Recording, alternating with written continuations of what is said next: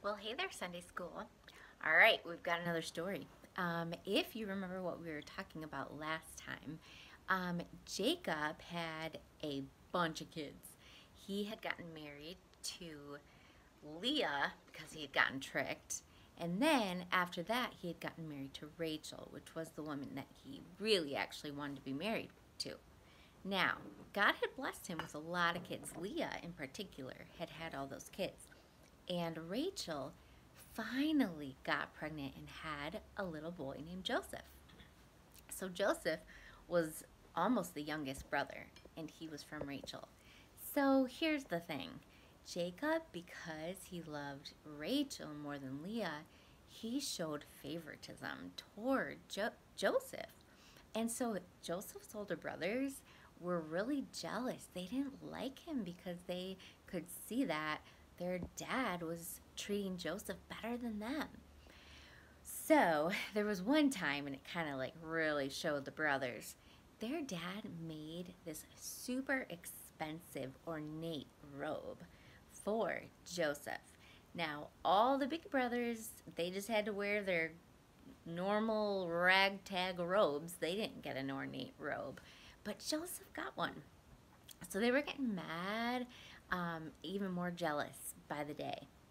Well, one day, all the brothers, the big brothers, were out in the field and they were letting the sheep um, eat the grass. And they had traveled a long way so they could get nice fresh grass, and they had been gone for a little while. So Jacob called to his, his son Joseph and he said, Joseph, will you do me a favor? Can you go and check on your brothers to make sure they're doing okay? And Joseph's like, yeah. And so Joseph um, went out on his way. Now, let me tell you something that had happened um, before he, the brothers had gone out to go get the sheep. So here's what here's what happened. So um, Joseph had three dreams, and in each one of those dreams, there was something that bowed down to him. So, for example, in one dream, these sheaves of grain, like big tall stalks, there was 12 and or 11 and they all bowed down to the one. The one stayed up straight. Now remember, Joseph had 11 brothers and he was the 12th. Okay?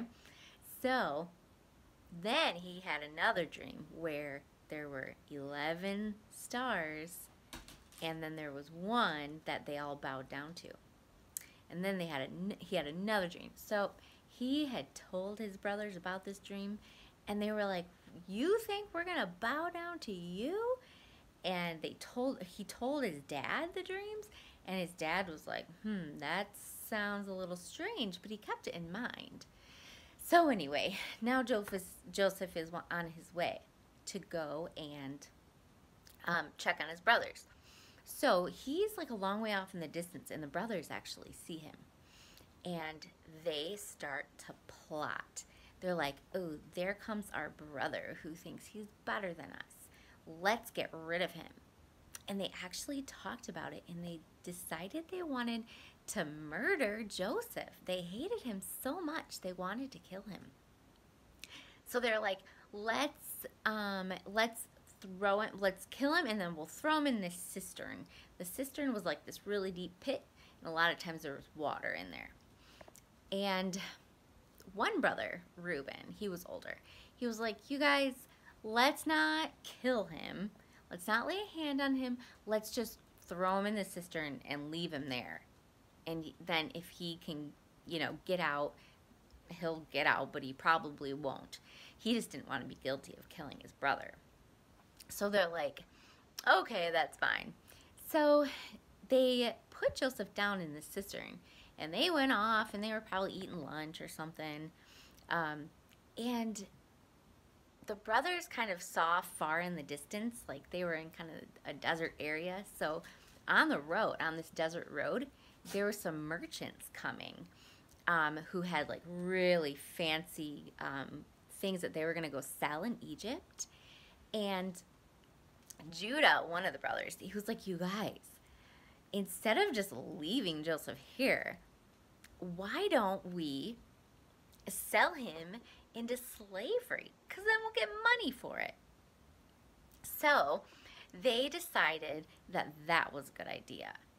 So all the brothers took Joseph, they took Joseph's ornate co- coat, his robe, and they took it from him and then they dipped it in blood. That what they did was found a goat and they killed the goat and then they dipped it in blood so that it would look like Joseph got attacked by an animal.